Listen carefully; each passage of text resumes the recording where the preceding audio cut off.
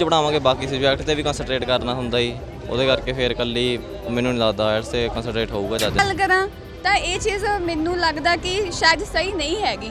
ਕਿਉਂਕਿ ਇਹ ਚੀਜ਼ ਆ ਕਿ ਇੱਕ ਪਾਸੇ ਸਰਕਾਰ ਕਹਿੰਦੀ ਹੈ ਕਿ ਆਪਾਂ ਆਪਣੇ ਇੱਥੇ ਰੋਜ਼ਗਾਰ ਖਤਮ ਹੁੰਦਾ ਜਾ ਰਿਹਾ ਹੈ। ਠੀਕ ਹੈ ਜੀ? ਤੇ ਬੱਚੇ ਨੇ ਕਿ ਬਾਹਰ ਨਹੀਂ ਜਾਣਾ ਚਾਹੀਦਾ, ਪੰਜਾਬ 'ਚ ਰਹਿ ਕੇ ਪੰਜਾਬ ਨੂੰ ਅੱਗੇ ਤਰੱਕੀ ਦੇ ਰਾਹ ਵੱਲ ਲੈ ਕੇ ਆਉਣਾ ਚਾਹੀਦਾ।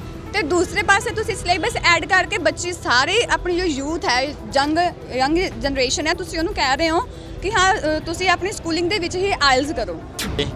ਪੜ੍ਹ ਨਹੀਂ ਸਕਦੇ ਇੱਥੇ ਆ ਕੇ ਜਦੀ। ਉਹਨਾਂ ਨੂੰ ਸਕੂਲ ਤੋਂ ਜਦ ਟ੍ਰੇਨਿੰਗ ਮਿਲੂਗੀ ਫਿਰ ਵਧੀਆ ਰਹੂਗਾ ਉਹਨਾਂ ਨੂੰ ਇੱਕ ਹੈਲਪ ਹੋ ਜੂਗੀ। ਬੇਸਿਕਸ ਕਲੀਅਰ ਹੋ ਜਾਣਗੇ ਉਹਨਾਂ ਦੇ। ਇਹ ਤਾਂ ਹੀ ਗੱਲਾਂ ਹੀ ਨੇ ਸਾਰੇ ਲੀਡਰਾਂ ਦੀਆਂ। ਸਿਰਫ ਇਹ ਕੀ ਇੱਕ ਉਹ ਭਾਲਦੇ ਹੁੰਦੇ ਨੇ ਕਿ ਸਾਡੇ ਵੱਲ ਬੰਦਾ ਜੁੜੇ ਇਹ ਉਹ ਸਾਰੇ ਆਣ ਸਾਡੇ ਲਵੇ ਨੂੰ।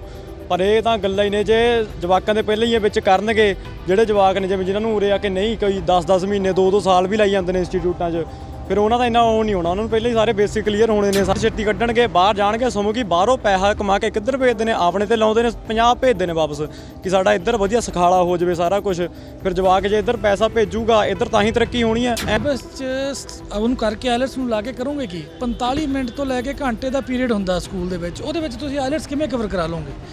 ਜੇ ਕਰਵਾ ਵੀ ਲਓਗੇ ਤੇ ਬੱਚਿਆਂ ਨੂੰ ਸਮਝ ਨਹੀਂ ਆਉਣਾ। ਸਾਡੇ ਮੁੱਖ ਮੰਤਰੀ ਭਗਵੰਤ ਮਾਨ ਕਹਿੰਦੇ ਨੇ ਕਿ ਪੰਜਾਬ ਦੇ ਵਿੱਚ ਨੌਜਵਾਨਾਂ ਨੂੰ ਨੌਕਰੀਆਂ ਇੰਨੀਆਂ ਕਿ ਦਵਾਂਗੇ ਕਿ ਉਹਨਾਂ ਨੂੰ ਵਿਦੇਸ਼ ਨਾ ਜਾਣਾ ਪਵੇ।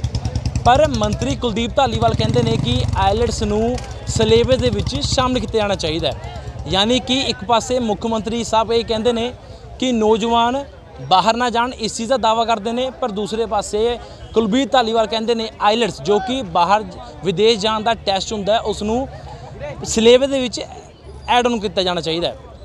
ਇਸ ਬਿਆਨ ਦੇ ਉੱਤੇ ਯੂਥ ਕੀ ਕੁਝ ਸੋਚਦੀ ਹੈ, ਕੀ ਕੁਝ ਕਹਿਣਾ ਹੈ, ਗੱਲਬਾਤ ਕਰਾਂਗੇ। ਇਸ ਵਕਤ ਅਸੀਂ ਖੰਨੇ ਵਿੱਚ ਖੜੇ ਹਾਂ। ਨੌਜਵਾਨ ਸਾਥੀ ਖੜੇ ਨੇ ਸਟੂਡੈਂਟਸ ਨੇ ਗੱਲਬਾਤ ਕਰਾਂਗੇ। ਅੱਛਾ ਭਾਜੀ ਅ, ਇੱਕ ਸਵਾਲ ਤੁਹਾਡੇ ਕੋਲ ਕਰਾਂਗੇ ਵੀ ਹੁਣ ਇੱਕ ਬਿਆਨ ਆਇਆ ਇੱਕ ਪਾਸੇ ਭਗਵੰਤ ਮਾਨ ਸਾਹਿਬ ਕਹਿੰਦੇ ਨੇ ਕਿ ਨੌਜਵਾਨਾਂ ਨੂੰ ਵਿਦੇਸ਼ ਨਹੀਂ ਭੇਜਣਾ ਚਾਹੀਦਾ ਪਰ ਧਾਲੀਵਾਲ ਸਾਹਿਬ ਮ- ਇਹ ਕਹਿੰਦੇ ਨੇ ਕਿ ਆਈਲੈਟਸ ਨੂੰ ਸਿਲੇਬਸ ਵਿੱਚ ਸ਼ਾਮਲ ਕੀਤਾ ਜਾਣਾ ਚਾਹੀਦਾ ਹੈ। ਇਸ ਬਿਆਨ ਨੂੰ ਕਿਸ ਤਰ੍ਹਾਂ ਜੇ ਇਹ ਸਿਲੇਬਸ ਦੇ ਵਿੱਚ ਸ਼ਾਮਲ ਹੁੰਦਾ ਤਾਂ ਕੀ ਕੁਝ ਫਾਇਦਾ ਹੋ ਸਕਦਾ ਬੱਚਿਆਂ ਨੂੰ? ਫਾਇਦਾ ਹੀ ਦੇਖੋ ਇੱਕ ਤਾਂ ਇੰਗਲਿਸ਼ ਸਿੱਖ ਸਕਦੇ ਨੇ ਉਹ। ਹੋਰ ਬਹੁਤ ਸੀ ਇੰਗਲਿਸ਼ ਸਿੱਖ ਸਕਦੇ ਨੇ।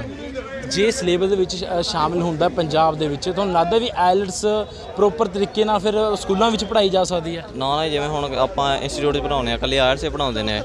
ਤੇ ਹੁਣ ਜੇ ਸਕੂਲ 'ਚ ਪੜਾਵਾਂਗੇ ਬਾਕੀ ਸਬਜੈਕਟ ਤੇ ਵੀ ਕਨਸੈਂਟਰੇਟ ਕਰਨਾ ਹੁੰਦਾ ਜੀ। ਉਹਦੇ ਕਰਕੇ ਫਿਰ ਇਕੱਲੀ ਮੈਨੂੰ ਨਹੀਂ ਲੱਗਦਾ ਆਰਟਸ ਤੇ ਕਨਸੈਂਟਰੇਟ ਹੋਊਗਾ ਚੱਜ ਨਾਲ। ਪ੍ਰੋਪਰ ਕਨਸੈਂਟਰੇਟ ਤੇ ਦੂਸਰੇ ਇੱਕ ਇੱਕ ਹੋਰ ਬਿਆਨ ਵੀ ਆਂਦਾ ਹੈ। ਤੁਸੀਂ ਕਿਸ ਤਰ੍ਹਾਂ ਦੇ ਇਸ ਬਿਆਨ ਨੂੰ? ਜੇ ਆਇਲਟਸ ਸਿਲੇਬਸ ਵਿੱਚ ਸ਼ਾਮਿਲ ਹੁੰਦੀ ਹੈ ਤੁਹਾਡਾ ਇਸ ਉੱਤੇ ਕੀ ਵਿਚਾਰ ਹੈ? ਕਿ ਕੁਝ ਹੋਊਗਾ ਫਾਇਦਾ ਹੋਊਗਾ ਜੇ ਸਿਲੇਬਸ ਸ਼ਾਮਿਲ ਹੁੰਦੀ ਪੰਜਾਬ ਵਧੀਆ ਗੱਲ ਆ। ਸਾਡੇ ਵਰਗਿਆਂ ਨੂੰ ਜਿਹੜੇ ਵਿਚਾਰੇ ਪੜ੍ਹ ਨਹੀਂ ਸਕਦੇ ਇੱਥੇ ਆ ਕੇ ਜਦੀ ਉਹਨਾਂ ਨੂੰ ਸਕੂਲ ਤੋਂ ਜਦ ਟ੍ਰੇਨਿੰਗ ਮਿਲੂਗੀ ਫਿਰ ਵਧੀਆ ਰਹੂਗਾ ਉਹਨਾਂ ਨੂੰ ਇੱਕ ਹੈਲਪ ਹੋ ਜੂਗੀ। ਬੇਸਿਕਸ ਕਲੀਅਰ ਹੋ ਜਾਣਗੇ ਉਹਨਾਂ ਦੇ। ਇੱਥੇ ਆ ਕੇ ਈਜ਼ੀ ਰਹੂਗਾ ਆਈਲਟਸ ਕਰਨਾ ਫਿਰ। ਕਿੰਨਾ ਕੁ ਮੁਸ਼ਕਿਲ ਹੁੰਦਾ ਜਦੋਂ ਆਪਾਂ ਆਇਲਸ ਕਰਦੇ ਆ ਤੇ ਬੱਚਿਆਂ ਨੂੰ ਦਿੱਕਤਾਂ ਕਿੰਨੀਆਂ ਆਉਂਦੀਆਂ ਨੇ ਪਰ ਜੇ ਸਿਲੇਬਸ ਦੇ ਵਿੱਚ ਐਡ ਹੋ ਗਿਆ ਤੇ ਓਕੇ ਰੋਜ਼ਗਾਰ ਤੇ ਇਹਦਾ ਫ਼ਰਕ ਪਊਗਾ ਜਿਹੜਾ ਇੰਸਟੀਚਿਊਟ ਵਿੱਚ ਲਾ ਰਹੇ ਨੇ? ਇਹਦਾ ਫਾਇਦਾ ਹੀ ਹੈ ਜੀ ਜੇ ਆਪਣਾ ਸਿਲੇਬਸ ਐਡ ਹੋ ਜਾਊਗਾ ਤਾਂ ਪਤਾ ਲੱਗੂਗਾ ਕਿ ਬੱਚੇ ਨੂੰ ਕੀ ਮਤਲਬ ਕਦੋਂ ਉਹ ਪੇਪਰ ਭਰ ਦੇਵੇ। ਮਤਲਬ ਜਵਾਕ ਨੂੰ ਪਤਾ ਲੱਗ ਜਾਂਦਾ ਕਿ ਬੰਦਾ ਕਦ ਹੁਣ ਪੇਪਰ ਭਰ ਦੇਵੇ। ਉਸ ਹਿਸਾਬ ਨਾਲ ਫਿਰ ਸਿਲੇਬਸ ਐਡ ਹੋ ਜਾਵੇ ਬੱਚਾ ਸ਼ੁਰੂ ਤੋਂ ਹੀ ਪੜ੍ਹਾਈ ਕਰਦਾ ਫਿਰ ਆਪਣੀ। ਸਿਲੇਬਸ ਮੇਰੇ ਹਿਸਾਬ ਨਾਲ ਤਾਂ ਐਡ ਹੋਣਾ ਚਾਹੀਦਾ ਬਾਕੀ ਆ ਲਵੀ ਭਾ ਦੱਸਦਾ ਸਾਰੀ ਗੱਲ। ਤੁਹਾਡੇ ਇਸ ਦੇ ਉੱਤੇ ਕੀ ਵਿਚਾਰ ਹੈ? ਕਿਉਂਕਿ ਮੁੱਖ ਮੰਤਰੀ ਸਾਹਿਬ ਕਹਿੰਦੇ ਨੇ ਵੀ ਪੰਜਾਬ ਦੇ ਵਿੱਚ ਆਪਾਂ ਰੋਜ਼ਗਾਰ ਦਵਾਂਗੇ ਤੇ ਬੱਚੇ ਵਿਦੇਸ਼ ਨਾ ਜਾਣ। ਤੇ ਦੂਸਰੇ ਪਾਸੇ ਧਾਲੀਵਾਲ ਸਾਹਿਬ ਕਹਿੰਦੇ ਨੇ ਐਲਸ ਨੂੰ ਸ਼ਾਮਲ ਕਰੋ ਵੀ ਤਾਂ ਕਿ ਬੱਚੇ ਵਿਦੇਸ਼ ਜਾ ਸਕਣ ਸੌਖੇ ਤਰੀਕੇ ਨਾਲ। ਇਹਨਾਂ ਬਿਆਨਾਂ ਨੂੰ ਕਿਸ ਤਰ੍ਹਾਂ ਸਿਆਸੀ ਬਿਆਨ ਨੇ, ਇਸ ਨੂੰ ਕਿਸ ਤਰ੍ਹਾਂ ਦੇ ਦਿਓ ਇਹ ਤਾਂ ਹੀ ਗੱਲਾਂ ਹੀ ਨੇ ਸਾਰੇ ਲੀਡਰਾਂ ਦੀਆਂ। ਸਿਰਫ ਇਹ ਕੀ ਇੱਕ ਉਹ ਭਾਲਦੇ ਹੁੰਦੇ ਨੇ ਕਿ ਸਾਡੇ ਵੱਲ ਬੰਦਾ ਜੁੜੇ, ਇਹ ਉਹ ਸਾਰੇ ਆਣ ਸਾਡੇ ਲਵੇ ਨੂੰ। ਪਰ ਇਹ ਤਾਂ ਗੱਲਾਂ ਹੀ ਨੇ ਜੇ ਜਵਾਕਾਂ ਦੇ ਪਹਿਲਾਂ ਹੀ ਇਹ ਵਿੱਚ ਕਰਨਗੇ, ਜਿਹੜੇ ਜਵਾਕ ਨੇ, ਜਿਵੇਂ ਜਿਨ੍ਹਾਂ ਨੂੰ ਉਰੇ ਆ ਕੇ ਨਹੀਂ ਕੋਈ 10-10 ਮਹੀਨੇ 2-2 ਸਾਲ ਵੀ ਲਾਈ ਜਾਂਦੇ ਨੇ ਇੰਸਟੀਚਿਊਟਾਂ 'ਚ ਫਿਰ ਉਹਨਾਂ ਦਾ ਇੰਨਾ ਉਹ ਨਹੀਂ ਹੋਣਾ, ਉਹਨਾਂ ਨੂੰ ਪਹਿਲਾਂ ਹੀ ਸਾਰੇ ਬੇਸਿਕ ਕਲੀਅਰ ਹੋਣੇ ਨੇ, ਸਾਰਾ ਕੁਝ ਹੋਣਾ, ਉਹਨਾਂ ਨੂੰ ਆਪਣੇ ਕੋਲ ਵਧੀਆ।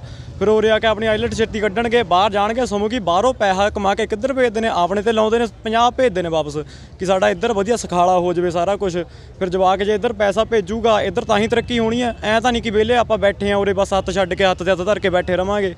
ਗੱਲ ਉਹ ਹੈ, ਜੇ ਸ਼ੁਰੂ ਤੋਂ ਸਿਲੇਬਸ ਹੋਊਗਾ ਇਨਕਲੂਡ ਸਾਰਾ ਕੁਝ ਫਿਰ ਜਵਾਕ ਬਾਹਰ ਜਾਊਗਾ ਇੱਕ ਮਾਈਂਡ ਸੈੱਟ ਨਾਲ, ਫਿਰ ਉੱਥੋਂ ਪੈਸਾ ਭੇਜੂਗਾ, ਇੱਧਰ ਇੱਧਰ ਤਰੱਕੀ ਹੋਊਗੀ, ਤਾਂ ਹੀ ਪਰਿਵਾਰ ਚੱਲਣਗੇ, ਘਰ-ਬਾਰ ਅਗਲੇ ਦਾ ਤਾਂ ਹੀ ਚੱਲਦਾ ਹੁੰਦਾ। ਕਈ ਲੋਕ ਫਿਰ ਜ਼ਮੀਨਾਂ ਗਹਿਣੇ ਧਰ ਕੇ ਆਪਣੇ ਜਵਾਕਾਂ ਨੂੰ ਬਾਹਰ ਭੇਜਦੇ ਨੇ, ਉਹਨਾਂ ਨੇ ਘਰ ਆਪਣਾ ਤਾਂ ਹੀ ਚਲਾਉਣਾ ਜੇ ਜਵਾਕ ਬਾਹਰ ਜਾਊ ਤੇ ਜ- ਬਾਹਰੋਂ ਪੈਸਾ ਭੇਜੂ ਇੱਧਰ।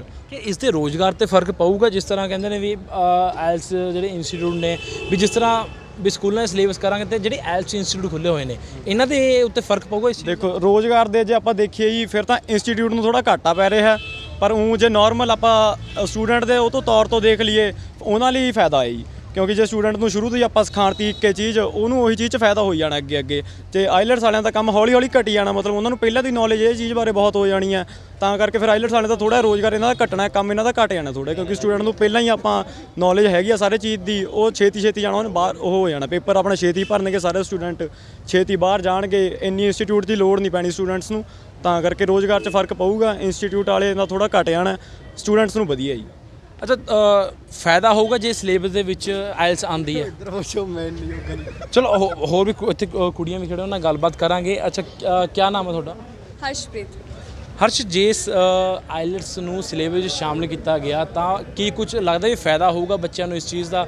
ਤੇ ਜੇ ਇਸ ਚੀਜ਼ ਦਾ ਫਾਇਦਾ ਹੁੰਦਾ ਹੈ, ਤਾਂ ਇੰਸਟੀਚਿਊਟ ਜਿਹੜੇ ਖੁੱਲੇ ਪਏ ਨੇ, ਉਹਨਾਂ ਨੂੰ ਕੀ ਕੁਝ ਨੁਕਸਾਨ ਹੋ ਸਕਦਾ ਹੈ? ਐਜ਼ ਅ ਟੀਚਰ ਮੈਂ ਗੱਲ ਕਰਾਂ, ਮੈਂ ਖੁਦ ਇੱਕ ਆਇਲਸ ਟ੍ਰੇਨਰ ਆ ਅਗਰ ਐਜ਼ ਅ ਮੈਂ ਟੀਚਰ ਗੱਲ ਕਰਾਂ ਕਿ ਸਟੂਡੈਂਟਸ ਲਈ ਤਾਂ ਬੈਨੀਫਿਟ ਹੈ ਕਿ ਜੋ ਉਹਨਾਂ ਨੂੰ ਬਾਅਦ ਵਿੱਚ ਇਹਨੇ ਐਫਰਟਸ ਕਰਨੇ ਪੈਂਦੇ ਨੇ ਕਿ ਉਹ ਪਹਿਲਾਂ ਹੀ ਸਿੱਖ ਜਾਣਗੇ।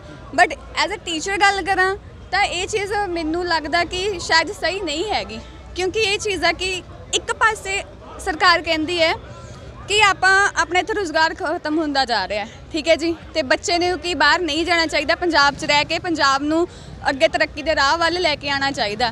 ਤੇ ਦੂਸਰੇ ਪਾਸੇ ਤੁਸੀਂ ਸਿਲੇਬਸ ਐਡ ਕਰਕੇ ਬੱਚੇ ਸਾਰੇ ਆਪਣੀ ਜੋ ਯੂਥ ਹੈ ਯੰਗ ਯੰਗ ਜਨਰੇਸ਼ਨ ਹੈ, ਤੁਸੀਂ ਉਹਨੂੰ ਕਹਿ ਰਹੇ ਹੋ ਕਿ ਹਾਂ ਤੁਸੀਂ ਆਪਣੀ ਸਕੂਲਿੰਗ ਦੇ ਵਿੱਚ ਹੀ ਆਇਲਸ ਕਰੋ। ਸੋ ਇਹ ਬਿਗ ਡਿਫਰੈਂਸ ਹੈ।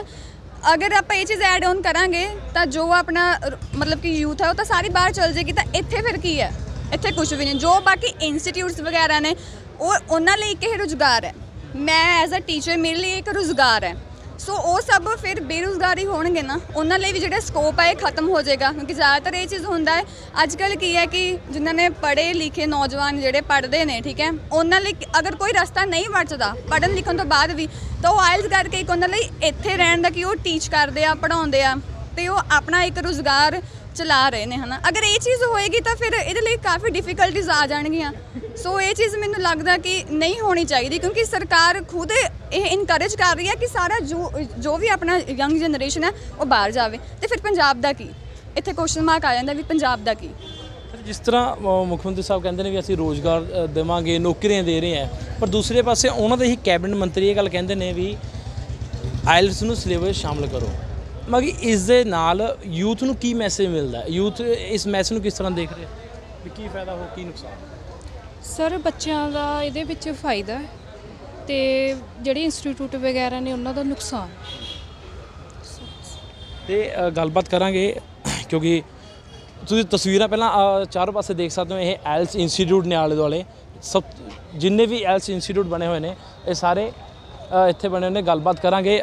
ਭਾਜੀ ਕੀ ਨਾਮ ਹੈ ਤੁਹਾਡਾ? ਮੈਂ ਤਾਂ ਹੀ ਕਹਿਣਾ ਚਾਹ ਅੱਛਾ ਅ, ਸਰਕਾਰ ਨੇ ਇੱਕ ਐਲਾਨ ਕੀਤਾ ਹੈ ਵੀ ਇਸ ਆਇਲਸ ਨੂੰ ਸਿਲੇਬਸ ਦੇ ਵਿੱਚ ਸ਼ਾਮਲ ਕੀਤਾ ਜਾਵੇ। ਹਾਂਜੀ। ਇਸ ਮੈਸੇਜ ਨੂੰ ਇਸ ਬਿਆਨ ਨੂੰ ਕਿਸ ਤਰ੍ਹਾਂ ਦੇਖਦੇ ਹੋ? ਇਸ ਦਾ ਕੀ ਫਾਇਦਾ ਬੱਚਿਆਂ ਨੂੰ ਹੈ? ਤੇ ਜਿਹੜੇ ਇੰਸਟੀਚਿਊਟ ਚੱਲ ਰਿਹਾ ਉਹਨੂੰ ਕੀ ਕੁਝ ਨੁਕਸਾਨ ਹੋ ਸਕਦਾ ਹੈ? ਨਹੀਂ ਇੰਸਟੀਟਿਊਟਾਂ ਨੂੰ ਚਲੋ ਨੁਕਸਾਨ ਆ ਬੱਚੇ ਨੂੰ ਕਿ ਅੱਜ ਕੋਲ ਇੰਗਲਿਸ਼ ਬਹੁਤ ਜ਼ਰੂਰੀ ਆ ਬੱਚੇ ਲਈ ਹੈ ਨਾ ਜੇ ਕੁਝ ਵੀ ਹੈ ਨਾ ਚਾਹੇ ਜਿੱਦਾਂ ਕਿ ਆਪਾਂ ਪੰਜਾਬ 'ਚ ਜਾ ਰਹੇ, ਜਿੱਦਾਂ ਪੰਜਾਬੀ ਜ਼ਰੂਰੀ ਆ, ਉਦਾਂ ਹੀ ਸਾਡੇ ਲਈ ਇੰਗਲਿਸ਼ ਜ਼ਰੂਰੀ ਆ। ਆਪਾਂ ਦੇਖਦੇ ਜਿਵੇਂ ਬੱਸਾਂ ਦੇ ਪਹਿਲਾਂ ਪੰਜਾਬੀ 'ਚ ਨਾਂ ਲਿਖੇ ਹੁੰਦੇ ਸੀਗੇ, ਵੀ ਆਹ ਸਮਰਾਲਾ, ਮੋਗਾ, ਪਟਿਆਲਾ, ਉਹ ਇੰਗਲਿਸ਼ 'ਚ ਲਿਖੇ ਹੁੰਦੇ ਨੇ। ਜੇ ਬੱਚਾ ਇੰਗਲਿਸ਼ ਬਾਰੇ ਵੇਅਰ ਨਹੀਂ ਹੋਊਗਾ ਤਾਂ ਉਹਨੂੰ ਇੰਗਲਿਸ਼ ਦਾ ਪਤਾ ਹੀ ਨਹੀਂ ਲੱਗੂਗਾ। ਸਕੂਲਾਂ ਦੇ ਵਿੱਚ ਹੈ ਕਿ ਬੱਚਾ ਇੰਗਲਿਸ਼ ਇੱਕ ਉਹਨੂੰ ਸਬਜੈਕਟ ਹੁੰਦਾ ਬਟ ਜੇ ਇਹਨੂੰ ਇੰਗਲਿਸ਼ ਨਾਲ ਇੱਕ ਵਧੀਆ ਤਰੀਕੇ ਨਾਲ ਸਮਝਾਇਆ ਜਾਵੇ, ਤਾਂ ਬੱਚਾ ਆਪਣਾ ਫਿਊਚਰ ਬ੍ਰਾਈਟ ਕਰ ਸਕਦਾ ਜੇ ਉਹ ਬਾਹਰ ਜਾਣਾ ਚਾਹਵੇ ਚਾਹੇ ਉਹ ਇੱਥੇ ਰਹਿਣਾ ਚਾਹਵੇ, ਜੇ ਅੱਜ ਦੇਖੋ ਜਿਵੇਂ ਕੋਰਟ ਦੇ ਸੰਮਣ ਆਉਂਦੇ ਨੇ ਸਾਰੇ, ਉਹ ਇੰਗਲਿਸ਼ 'ਚ ਆਉਂਦੇ ਨੇ। ਬੱਚਾ ਪਲੱਸ 2 ਕਰ ਲੈਂਦਾ। ਬਟ ਬਟ ਕੀ ਆ, ਬੱਚੇ ਨੂੰ ਪੜ੍ਹਨੇ ਨਹੀਂ ਆਉਂਦੇ ਹੈਗੇ। ਕਿਉਂ? ਬੱਚੇ ਦੀ ਇੰਗਲਿਸ਼ ਵੀਕ ਆ। ਉਹ ਲਈ ਬੱਚੇ ਲਈ ਇੰਗਲਿਸ਼ ਤੇ ਸਿੱਖਣਾ ਬਹੁਤ ਜ਼ਰੂਰੀ ਆ। ਆਲਸ ਇੱਕ ਐਵੇਂ ਦਾ ਟੈਸਟ ਆ, ਜਿਹੜਾ ਇੰਗਲਿਸ਼ ਦਾ ਹੀ ਟੈਸਟ ਆ। ਹੋਰ ਇਹ ਕੋਈ ਲੋਕਾਂ ਨੇ ਬਣਾਇਆ ਹੋਇਆ ਵੀ ਹੋਊਗਾ ਬਹੁਤ ਵੱਡਾ, ਇਹ ਕੁਝ ਨਹੀਂ ਕਿ ਇੰਗਲਿਸ਼ ਟੈਸਟ ਆ। ਜਿਹਨੂੰ ਆਪਾਂ ਦੇ ਸਕਦੇ ਹਾਂ ਵਧੀਆ, ਹੈ ਨਾ? ਆਪਣੀ ਇੰਗਲਿਸ਼ ਨੂੰ ਮੈਚੁਰ ਕਰ ਸਕਦੇ ਹਾਂ ਤੁਹਾਨੂੰ ਲੱਗਦਾ ਵੀ ਜਿਵੇਂ ਐਲਸ ਇੰਸਟੀਚਿਊਟ ਦੇ ਵਿੱਚ 4 ਘੰਟੇ ਦੇ ਕਰੀਬ ਜਾ ਕੇ ਐਲਸ ਦਾ ਟੈਸਟ ਦਿੰਦੇ ਆ ਲਿਸਨਿੰਗ ਰਾਈਟਿੰਗ ਸਪੀਕਿੰਗ ਤੇ ਜੇ ਸਕੂਲਾਂ ਵਿੱਚ ਪੜ੍ਹਾਓ ਲੱਗਦਾ ਵੀ ਇਹ 45 ਮਿੰਟ ਦੇ ਵਿੱਚ ਇਹ ਕਵਰ ਹੋ ਜਾਊਗਾ ਸਾਰਾ, ਕਿਉਂਕਿ ਉਹ ਕਹਿੰਦੇ ਸਿਲੇਬਸ ਚ ਐਡ ਨੂੰ ਕਰਾਂਗੇ ਅਸੀਂ। ਨਹੀਂ, ਸਕੂਲਾਂ ਵਿੱਚ ਇਹਨੂੰ ਆਪਾਂ ਕਵਰ ਨਹੀਂ ਕਰ ਰਹੇ। ਸਕੂਲਾਂ ਵਿੱਚ ਬਸ ਕਿ ਆਪਾਂ ਬੇਸਿਕ ਕਲੀਅਰ ਕਰ ਸਕਦੇ ਹਾਂ ਬੱਚੇ। ਜਿਹਨੂੰ ਆਇਲਸ ਕਰਨ ਦੇ ਵਿੱਚ ਅੱਜ ਦਾ ਟੈਸਟ ਦੇਣ 'ਚ ਕੋਈ ਪ੍ਰੋਬਲਮ ਨਾ ਆਵੇ। ਜਦੋਂ ਬੱਚੇ ਦੇ ਬੇਸਿਕ ਕਲੀਅਰ ਹੋਣਗੇ, ਬੱਚਾ ਆਇਲਸ ਬਾਰੇ ਸਿੱਖੂਗਾ, ਉਹ ਲਿਸਨਿੰਗ ਰੀਡਿੰਗ ਦੀਆਂ ਕਲਾਸਾਂ ਲਾਊਗਾ, ਤੇ ਉਹਨੂੰ ਪਤਾ ਲੱਗ ਜਾਊਗਾ। ਉਹਨੂੰ ਜ਼ਿਆਦਾ ਟਾਈਮ ਹੀ ਨਹੀਂ ਲੱਗੂਗਾ। ਨਹੀਂ ਬੱਚਾ 2 ਤੋਂ 3 ਮਹੀਨੇ ਆਇਲਸ ਕਰਨ ਨੂੰ ਹੀ ਲਾ ਦਿੰਦਾ। ਇੱਕ ਇੰਗਲਿਸ਼ ਆ। ਇਹਨੂੰ ਜੇ ਆਪਾਂ 2 ਤੋਂ 3 ਮਹੀਨੇ ਸਿੱਖਣ ਨੂੰ ਲਾ ਦਾਂਗੇ, ਤੇ ਉਹਦੇ ਲਈ ਆਪਾਂ ਨੂੰ ਕੋਈ ਬੈਨੀਫਿਟ ਨਹੀਂ ਹੋਇਆ। ਤੇ ਹੋਰ ਗੱਲਬਾਤ ਕਰਾਂਗੇ ਇੱਥੇ। ਨਾਲ ਸਾਡੇ ਸਰਦਾਰ ਸਾਹਿਬ ਮੌਜੂਦ ਨੇ। ਸਰ ਤੁਹਾਡਾ ਕੀ ਨਾਮ ਹੈ? ਮੇਰਾ ਨਾਮ Sukhjinderpal Singh ji firm future world wide immigration ਤੋਂ। ਸਰ ਤੁਸੀਂ ਇਮੀਗ੍ਰੇਸ਼ਨ ਚਲਾ ਰਹੇ ਹੋ। ਅੱਛਾ ਸਰਕਾਰ ਨੇ ਇੱਕ ਹੁਣੀ ਬਿਆਨ ਦਿੱਤਾ ਜਿਸ ਮੁੱਖ ਮੰਤਰੀ ਸਾਹਿਬ ਕਹਿੰਦੇ ਨੇ ਪੰਜਾਬ ਦੇ ਵਿੱਚ ਨੌਜਵਾਨਾਂ ਨੂੰ ਰੋਜ਼ਗਾਰ ਦੇਵਾਂਗੇ ਉਹ ਵਿਦੇਸ਼ ਨਾ ਜਾਣ। ਪਰ ਕੁਲਦੀਪ ਧਾਲੀਵਾਲ ਕੈਬਨਿਟ ਮੰਤਰੀ ਕਹਿੰਦੇ ਨੇ ਵੀ ਆਈਲੈਟਸ ਨੂੰ ਸਿਲੇਬਸ 'ਚ ਸ਼ਾਮਲ ਕੀਤਾ ਜਾਵੇ। ਜੇ ਸਿਲੇਬਸ ਸ਼ਾਮਲ ਹੁੰਦਾ ਕੀ ਕੁਝ ਫਾਇਦਾ ਤਾਂ ਕੀ ਹੋਊਗਾ ਤੇ ਨੁਕਸਾਨ ਵੀ ਕੀ ਹੋਊਗਾ ਇਸ ਚੀਜ਼ ਦਾ? ਸਰ ਤੁਸੀਂ ਸਿਲੇਬਸ ਚ ਉਹਨੂੰ ਕਰਕੇ ਆਇਲਟਸ ਨੂੰ ਲਾ ਕੇ ਕਰੋਗੇ ਕੀ? 45 ਮਿੰਟ ਤੋਂ ਲੈ ਕੇ ਘੰਟੇ ਦਾ ਪੀਰੀਅਡ ਹੁੰਦਾ ਸਕੂਲ ਦੇ ਵਿੱਚ ਉਹਦੇ ਵਿੱਚ ਤੁਸੀਂ ਆਇਲਟਸ ਕਿਵੇਂ ਕਵਰ ਕਰਾ ਲਓਗੇ?